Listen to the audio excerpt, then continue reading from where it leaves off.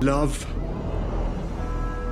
the time has come to speak to them in a language they will understand.